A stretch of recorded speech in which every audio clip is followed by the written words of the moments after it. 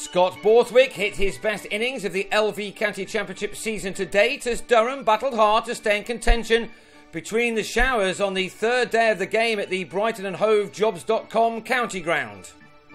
We had a prompt start with Sussex declaring on their overnight score of 505 for 9.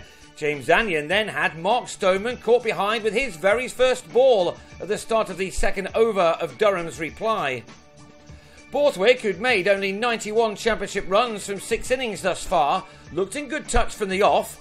His side needed him as their initial target was to make 356 runs to avoid following on for the second match in succession. That looked a long, long way off when a lack of communication between Borthwick and Keaton Jennings saw the latter run out by Luke Wright's throw for 13, with a total on 34 for 2. It seemed to be Borthwick's fault. That run out, of course, was not what Durham wanted on a pitch where only two men thus far had made significant contributions.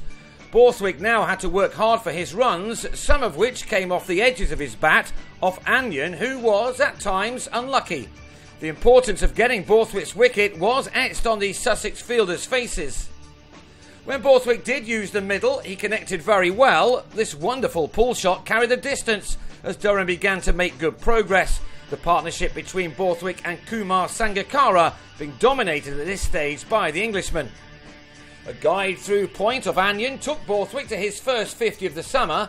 That was his seventh four to go with his 1 6 in an innings which had thus far occupied 79 deliveries. At this point, the number three had 53 runs out of the 80 on the board. Importantly, Borthwick was allowing Sangakkara to find his feet. The Sri Lankan was supposed to be using his short time with Durham to prepare himself in English conditions ahead of the forthcoming Test series. The wonderfully talented batsman doesn't have a particularly good record in this country, and after two failures on his debut against Yorkshire, he needed to have time at the crease for personal reasons as well as for the cause of his team. It was not easy for him at times, even with all of his experience in this game. Steve Magoffin made life uncomfortable for him.